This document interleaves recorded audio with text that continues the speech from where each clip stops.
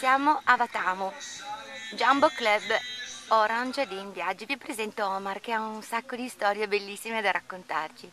Allora, racconta di storia di Masai. Il Masai è prima arrivi dalla, dopo Cristo, da 500 anni dopo Cristo, arrivato dal fiume Nilo fino a Kilimangiaro vicino Tanzania e Kenya.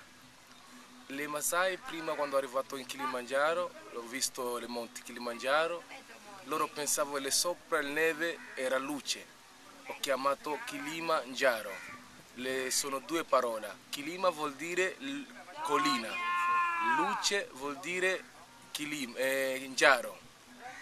Le Kilimangiaro loro pensavano c'era Dio e sopra Kilimangiaro loro sempre pregare Dio ogni mattina.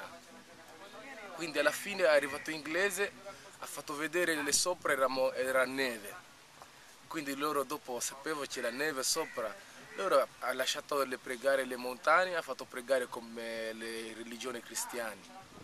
Quindi Masai è originale, era da Egitto.